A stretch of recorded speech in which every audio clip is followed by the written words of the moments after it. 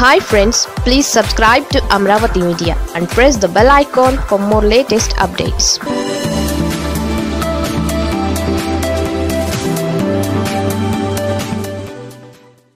Chandrababu పరిషత్ పోరు బహిష్కరణ వెనుక క్రొత్త కోణం.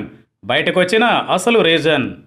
ముప్పై తొమ్మిదేళ్ళ చరిత్ర ఇరవై ఏళ్ళ అధికారం పంతొమ్మిదేళ్ళ ప్రతిపక్షం.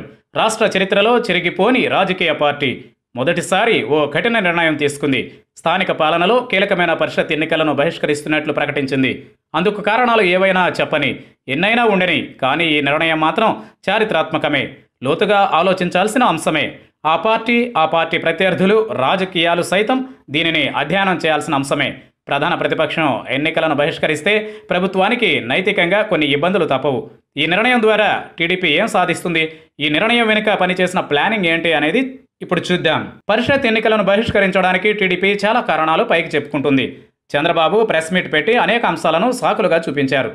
వాటిలో కొన్ని వాస్తవాలకు దగ్గరగా ఉన్నాయి. సుప్రీం తీర్పుని మార్గదర్శకాలను కాదని నోటిఫికేషన్ ఇవ్వడం తిరుపతి ఉప ఎన్నిక జరుగుతున్న సమయంలో వారం రోజుల్లోనే పరిషత్ ఎన్నికల ప్రక్రియ పూర్తయ్యేలా నోటిఫికేషన్ ఇవ్వడం అధికార బలాన్ని ఉపయోగించి టీడీపీని ఇబ్బంది పెట్టి ఎన్నికల కమిషన్ ఏకపక్ష నిర్ణయాల ద్వారా ఎన్నికలు నిర్వహించాలి అనుకోవడం ఇవన్నీ సమంజసం కాదు అనేది టీడీపీ అభిప్రాయం.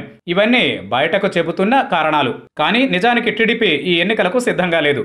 మున్సిపల్ ఎన్నికలలో పంచాయతీ ఎన్నికలలో టీడీపీ పోటీ చేసి ఏం సాధించిందో అందరికీ తెలిసిందే. అందుకే ఇప్పుడు పరిషత్ ఎన్నికలలో పోటీ చేసినా వచ్చే ప్రయోజనం సానుకూల ఫలితం పెద్దగా ఉండదు. మహా అయితే ఇరవై శాతం స్థానాలు వస్తే రావచ్చు. అంతకు మించి రావు. ఈ ఇరవై శాతం స్థానాల కోసం టీడీపీ కార్యకర్తలు శ్రమించాలి. కొట్లాడాలి. కేసుల్లో దూరాలి. అధికార పార్టీతో పోరాడాలి.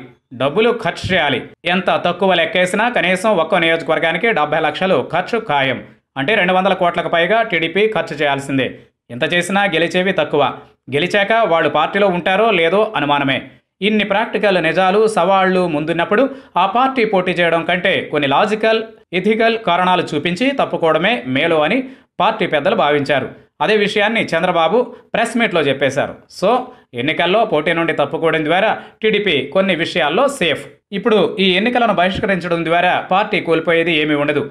కార్యకర్తలకు ఎలాగోలా చెప్పుకోవచ్చు.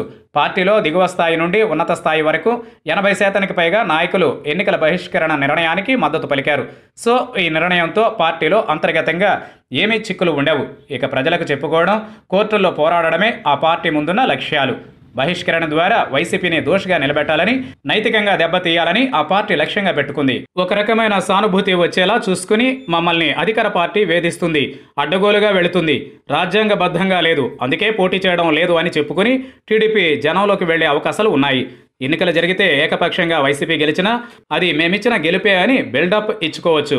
పోటీ చేసి ఓడిపోయే కంటే పోటీ చేయకుండా ఉంటే కప్పిపుచ్చుకోవచ్చు ఇలా పార్టీ డబ్బు మిగిల్చుకోవడం అధికార పార్టీని దోషిగా చూపడం సానుభూతి పెంచుకోవడం అనే కొన్ని అంతర్గత లక్ష్యాలతో టీడీపీ ఈ నిర్ణయాలు తీసుకుంది.